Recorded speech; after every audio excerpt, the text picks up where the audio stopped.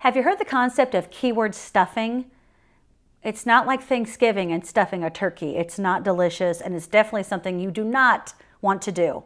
I'm going to show you why keyword stuffing is the number one way in which to get banned by Google. Make sure to watch to the end because I'm going to show you some easy ways to not keyword stuff, but to actually use keywords effectively in your marketing.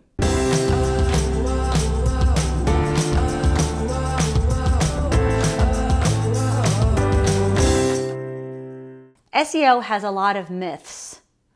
And one of the myths is I want to use the keyword as many times as I can, as long as I can on a page. This is also called keyword stuffing. Not like the stuffing from Thanksgiving, unfortunately, but putting in way too many keywords in all the wrong places.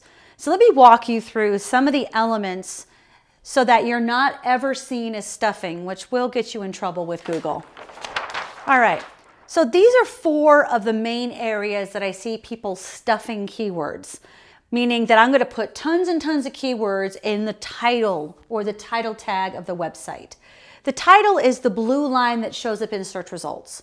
And people will just misuse this like no one's business. They'll put, we do this and we do that and we do this and we do that. And it's like a smorgasbord of keywords that's in the title tag. No, no, no. This is that blue line that shows up in search results. So you want your company name and one keyword phrase. This is called the title tag, okay? You get 60 characters for this bad boy. Now, when you Google yourself, you will see that blue line right above your domain name. That's called the title tag. Just keep it simple and sweet and don't stuff keywords there. Another keyword stuffing tactic is on images. So when you name images, yes, it's fine to name the image keyword1.jpg, but don't put keyword dash keyword dash keyword dash keyword .jpg. Aren't you smart? Put all those keywords in there? No. Again, Google is pretty darn smart. They got smart people there. They have figured out all the deceptive practices you could possibly imagine. Do not stuff keyword names and definitely do not stuff the alt text. Now what the alt text is, is when you're behind, let's say in your web page or your web designer, they're going to upload the image and then they're going to put an alt text. Now, an alt text is when you scroll over it and a little box pops up. That is actually for people with disabilities who are either hearing impaired or visually impaired. They're going to roll over that and the alt text gets read to them. So the alt text is what actually tells the person with that disability that they this is what you're looking at right now. So it's very important we don't stuff there. You just want to put the keyword of what the image is about. The next one is stuffing. So keywords in content is like a cupcake. You can roll it in sprinkles or you can just gently sprinkle them on top. So keywords are not rolling it in sprinkles. We're not trying to paint the page in keywords. We're trying to create content that is relevant, but also well written.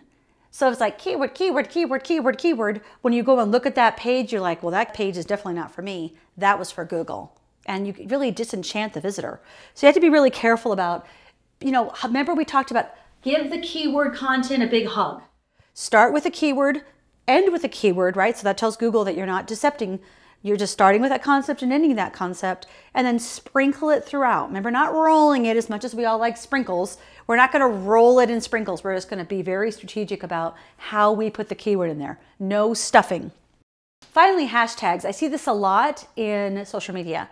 Now, in Instagram, they say you can use up to 10 hashtags, which is fine, but we need to remember that it's also about content first, hashtag second. So I would recommend you not have 50 hashtags. That is hashtag stuffing. Also, hashtags work across all platforms now. They work on LinkedIn, they work on YouTube, they work on Facebook, they work on Twitter, and they even work on Pinterest. But be very mindful. Have a core set of hashtags you use on all your posts and then tweak them based on the subject or the content of that post. But don't put 800 hashtags in there. That's also another stuffing practice that you need to be careful of. And also disenchants the visitor who sees all that junk in there as well as is it about the hashtags or is it about the content? So make sure that you're not going too crazy. So when you think about stuffing, don't stuff the title tag, don't stuff images, don't stuff content, and don't definitely don't stuff hashtags. The bottom line is you're trying to create relevant content. Relevant content means those are the things that it's named. The image is named the content, the, the title tag is named the content. You're just trying to point them toward where you want that keyword to rank. That's it. You will not win any points by painting everything you do with a keyword phrase. So just remember it's about relevance, it's not about repetitions. And keep it interesting, keep it relevant, and make it findable. That's the only way to write really good connected content and stay away from any kind of keyword stuffing.